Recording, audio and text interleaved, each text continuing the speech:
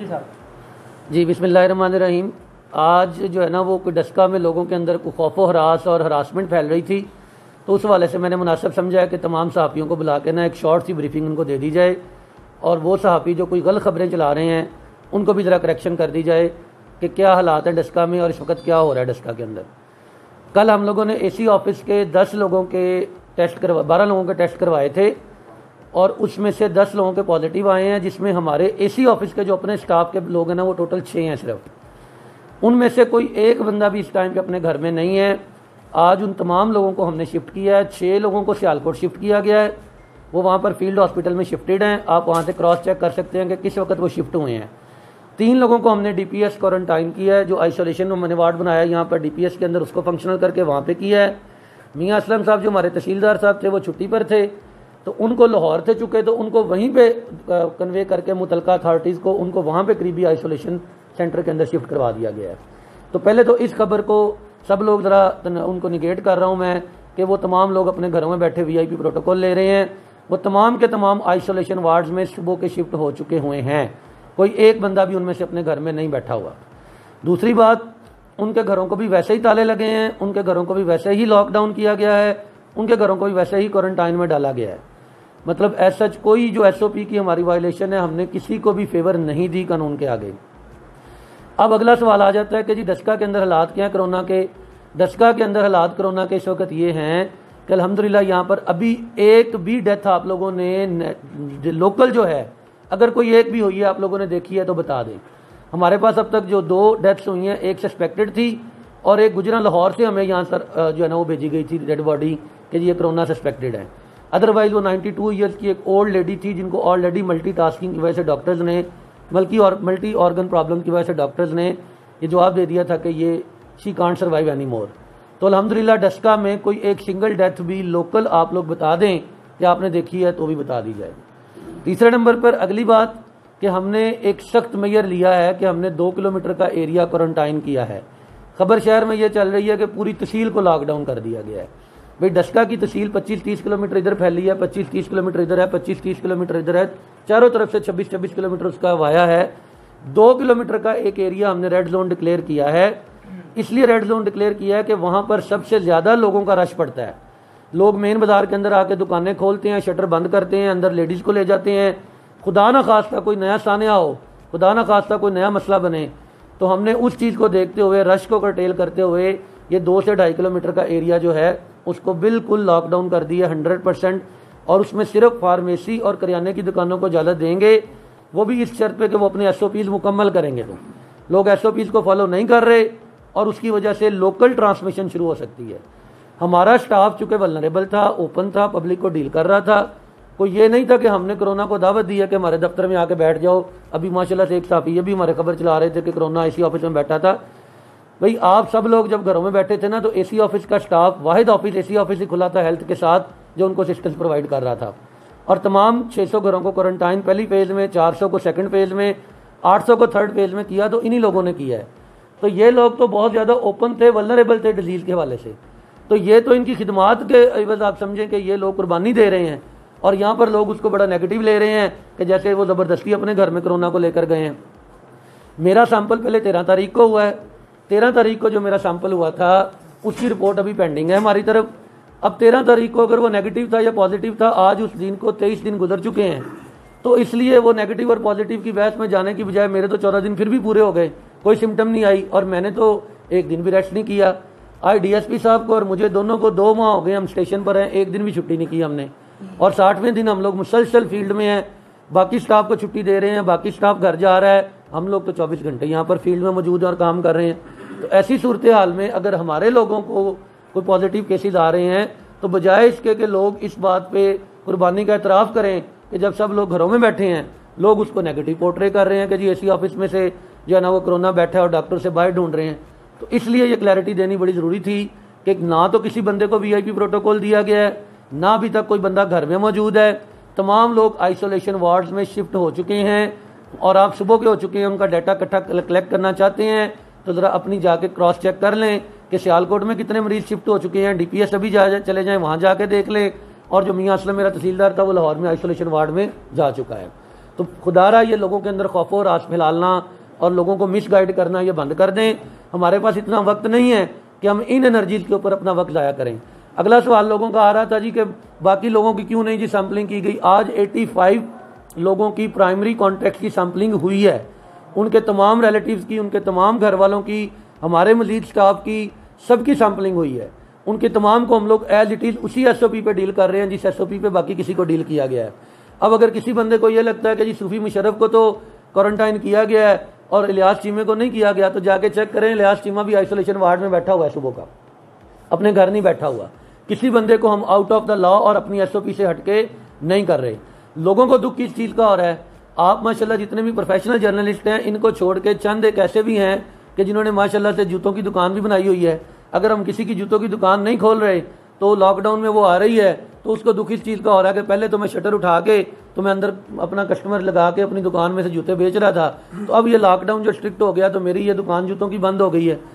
आपके ही दो चार दोस्त जो कि अभी यहाँ नहीं मौजूद, उन्होंने कई दुकानदारों की सिफारिशें की हैं, डीएसपी साहब को भी की हैं, मुझे भी की हैं, कि ये दुकान खुल लेने दे, शटर ऊपर करके बंदा आएगा, जाएगा, हमने किसी को नहीं दिया, अलाउ नहीं किया। अब क्वारंटाइन कर लिया, मैं तो डीएसपी साहब के साथ सारा दिन फ़ील्ड में रहा हूँ। हम किस वक्त क्वारंटाइन हुए हैं जी? सारा दिन काम कर रहे हैं, अभी भी कर रहे हैं। असल इशू ये है कि लोगों को मसला सिर्फ़ इस चीज़ से हो रहा है कि उनकी जो पर्सनल चॉइस के ऊपर हम दुकानें नहीं खोल पा रहे, चंद एक लोगों को। आप लोग सारे यहाँ मौजूद हैं हमने कोई कानून के हटके, कोई एसओपी से हटके किसी केस को ट्रीट किया है पॉइंट आउट करें, हम अपने स्टाफ के खिलाफ भी एक्शन लेंगे। और अगर हम जिम्मेदार हुए तो आप ऊपर हायर अथॉरिटीज को उसके बारे में बताएँ। हम तो बड़े ओपन बैठे हैं और 24 घंटे हमारे ओपन दरवाजे खुले हैं। जो बंदा कॉल करता है, जो बंदा मैसेज करता है, हम उसको रिस्पॉन्ड करते हैं। लेकिन अब एक एक बंदा ये खबर उठा के कहना शुरू कर दे कि जी एसी साहब ने क्वारंटाइन कर लिया खुद को डीएसपी साहब ने क्वारंटाइन कर लिया, बाकी लोगों के सैम्पलिंग नहीं हो रहे। बाकी लोगों को जनाब ट्रीट नहीं किया जा रहा, घरों को लॉकडाउन नहीं किया जा रहा। आप गए किसी का घर देखा? है अब घरों में बैठ के ये खबर बनानी बंद कर दें। फ़ील्ड में जाके जरा जाके चेक करके देखें कि क्या इलियास चीमा का घर को ताला ताला लगा है कि नहीं लगा? मियाँ असलम तहसीलदार जो मेरा है, वो आइसोलेशन में गया है या नहीं गया? उसके घर में ताला लगा है कि नहीं लगा? कोई एक सिंगल पेशेंट भी हमने नहीं छोड़ा। मेरे दो मुलाजमीन ने सुबह रजिस्ट किया है। मैंने उनको कहा तुम्हारे खिलाफ महकमाना कार्रवाई भी होगी, तुम्हें सस्पेंड भी करेंगे। कानून के मुताबिक तुम्हें भी डील करना है। उनको उसी time double one double two में डाल के मेरा नायब तहसीलदार, बूटा, उसने बड़ा रजिस्ट किया है। सोशल सिक्योरिटी हॉस्पिटल में इस टाइम पे मौजूद है, सियालकोट में चेक कर लें जाके। तो भाई, हम तो कानून के मुताबिक सबको ट्रीट कर रहे हैं।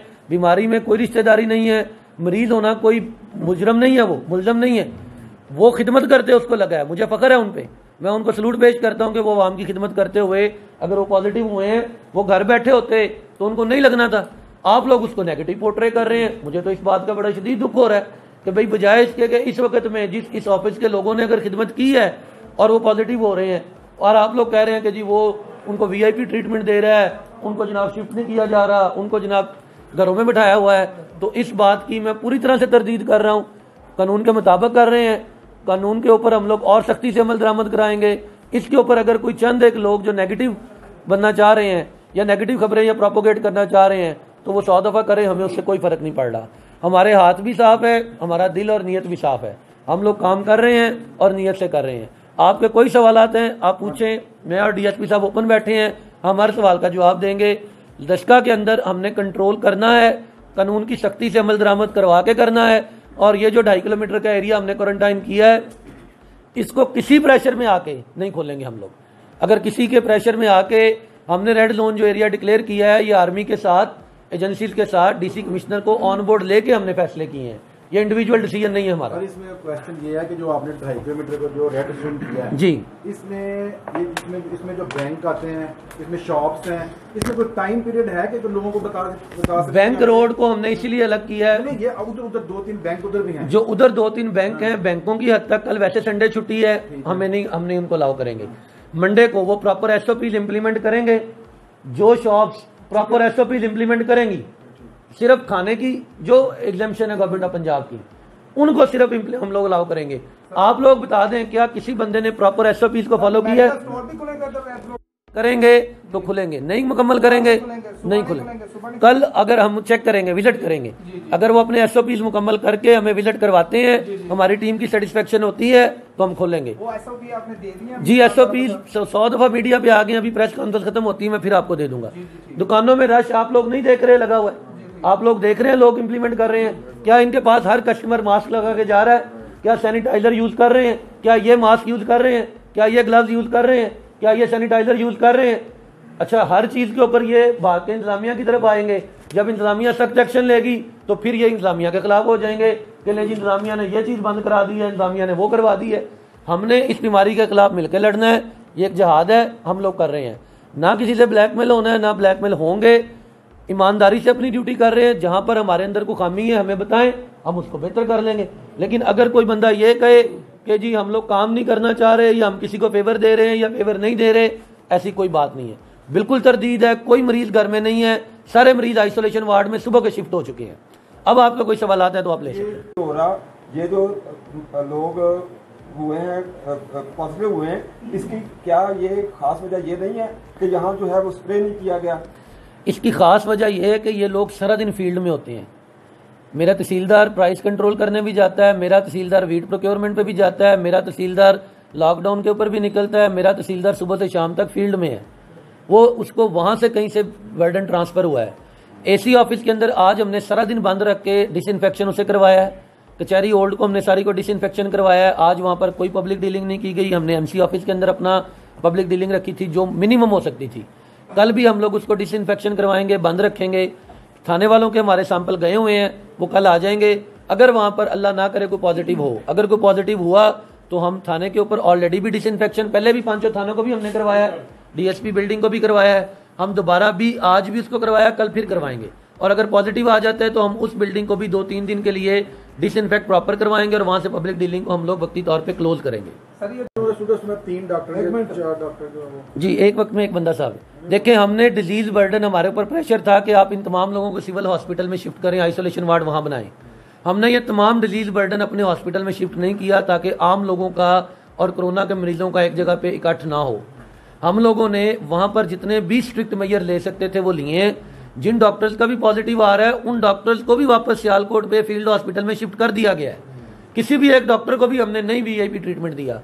हमारी एक गायनाकोलॉजिस्ट थी स्पेशलिस्ट पंद्रह दिन क्वारंटाइन पूरी की है उसने। बड़ा प्रेशर आया उसके ऊपर कि जी वो सी सेक्शन कर रही है, डेढ़ महीना हो गया, वो, कोई उसके अंदर सिम्टम नहीं है, नहीं हमने उसको छोड़ा।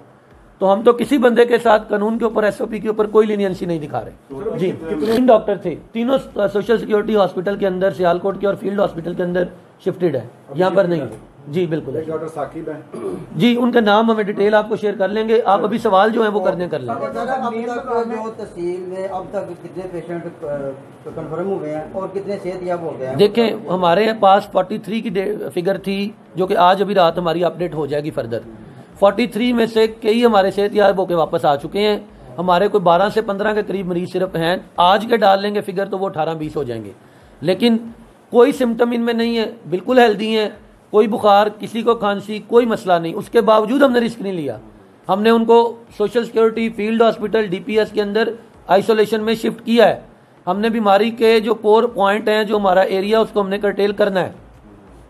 जी। जो मेन बाज़ार में शटर जो गवर्नमेंट ऑफ़ पंजाब की तरफ़ से है। जो स्टिल अभी चल रहा है जी चल रहा है। अभी हम नौ मई तक तो इसको जो अभी जो हमने जो जी इसको भी नौ मई तक हम कंटिन्यू करेंगे।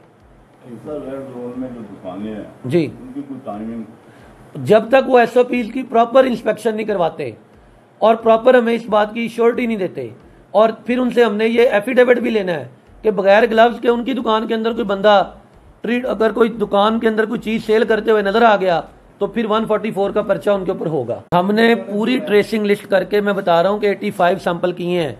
ये जो आप लोगों को हमारे पास जितनी टेस्ट किटें थी ना ये सारी खत्म की हैं। एक टेस्ट किट भी हमने नहीं बचाई। वरना हम लोग पहले कोई ना कोई टेस्ट किट बचा लेते थे। आज 85 की 85 टेस्ट किट कंज्यूम करवाई हैं और इन लोगों पे करवाई हैं। और उनकी पूरी हम लोग ट्रेसिंग कर रहे हैं। जहाँ जहाँ पर वो गए जाके जिन जिन लोगों से उनका कोई इंटरेक्शन हुआ है उनको या तो क्वारंटाइन या टेस्ट या जो जो कुछ किया जा सकता है हम लोग उसके ऊपर मैयत दे रहे हैं। जी। आज जब हमने इम्प्लीमेंटेशन शुरू करवाई है जितने भी लोग जो आ, आदम के चीमा जाम के रोड गलोटियाँ मियाँ वाली सिरा वाली और जहाँ से आ जाते थे अब किधर से एंटर होंगे? टोटल लॉकडाउन है। अब लॉक उस ढाई किलोमीटर के एरिया में जब उनको एंट्री और एग्जिट नहीं मिलेगी तो वो क्या अंदर दुकानदार किसको बेचेंगे सामान? अच्छा सर जी। है